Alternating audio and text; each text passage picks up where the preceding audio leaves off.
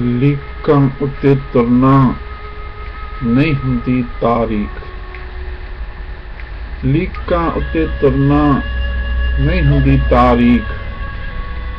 ਮੱਥੇ ਦੀ ਲੋਚ ਹੁੰਦਾ ਹੈ ਨਵ ਇਤਿਹਾਸ ਲਿਖਣ ਦਾ ਚਾਹ ਮੱਥੇ ਦੀ ਲੋਹ ਵਿੱਚ ਹੁੰਦਾ ਹੈ ਨਵ ਇਤਿਹਾਸ ਲਿਖਣ ਦਾ ਕੋਈ ਚਾਹ ਆ ਕੋਈ ਨਵੀਨ ਅਵਾਰਤ ਸਿਰਜੀਏ। ਵੀਰਾਨਿਆਂ ਨੂੰ ਚੀਰ ਕੇ, ਚੀਸਾਂ ਨੂੰ ਪੀੜ ਕੇ, ਰੇਤਾਂ ਨੂੰ ਠੱਟਾ ਕਰਕੇ, ਪੱਬਾਂ ਨੂੰ ਨੰਗਾ ਕਰਕੇ। ਗੀਤ ਤਾਂ ਦੋਸਤ ਦੀਪਕ ਕੋਲ ਵੀ ਹੁੰਦੇ ਨੇ। ਗੀਤ ਤਾਂ ਦੋਸਤ ਦੀਪਕ ਕੋਲ ਹੁੰਦੇ ਨੇ, ਹਨੇਰੇ ਨੂੰ ਚੀਨ ਵਰਗੇ। ਦੇਖ ਕਿੰਨਾ ਕੁਝ ਹੈ ਛੁਪਿਆ ਤੇਰੀਆਂ ਪਲਕਾਂ ਦੇ ਉੱਤੇ।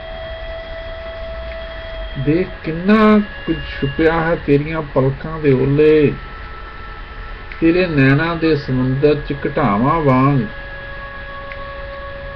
ਜਦ ਤੂੰ ਗਲਵਕੜੀ ਖਿਲਾਰਦੀ ਏ, ਅੰਬਰ ਬੈਠ ਹੁੰਦੇ ਨੇ। ਹਵਾਵਾਂ 'ਚ ਧੜਕਣ ਉੱਗਦੀ ਹੈ। ਕੱਚ ਕਿਚਰਾ ਵਰਗਾ ਨਜ਼ਾਰਾ ਹੁੰਦਾ ਹੈ, ਤੇਰੀਆਂ ਜ਼ੁਲਫਾਂ 'ਚ ਤਰਨਾ ਤੇ ਨਵੇਂ ਨਵੇਂ ਸੁਪਨੇ ਫੜਨਾ।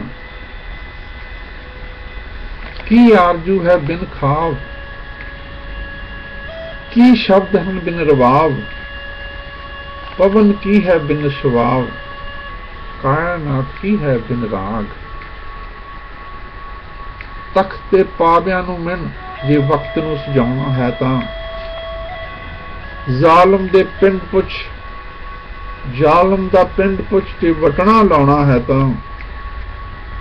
ਸੀਨੇ ਦੇ ਸਾਹ ਗਿਣ ਜੇ ਸਮਾਂ ਵਿਆਹਣਾ ਹੈ ਤਾਂ ਸੀਨੇ ਦੇ ਸਾਹ ਗਿਣ ਜੇ ਸਮਾਂ ਵਿਆਹਣਾ ਹੈ ਤਾਂ ਬਾਟੇ 'ਚ ਦੇਖ ਦੋ ਬੂੰਦਾਂ, ਜੇ ਸਿੰਘ ਕਹਾਉਣਾ ਹੈ ਤਾਂ ਬਾਟੇ 'ਚ ਦੇਖ ਦੋ ਬੂੰਦਾਂ, ਜੇ ਸਿੰਘ ਕਹਾਉਣਾ ਹੈ ਤਾਂ ਲੀਕਾਂ ਤੇ ਤੁਰਨਾ ਨਹੀਂ ਹੁੰਦੀ ਤਾਰੀ। ਮੱਥੇ ਦੀ ਲੋਚ ਹੁੰਦਾ ਹੈ, ਨਵ ਇਤਿਹਾਸ ਲਿਖਣ ਦਾ ਚਾਹ ਨਵ ਇਤਿਹਾਸ ਲਿਖਣ ਦਾ ਚਾਹ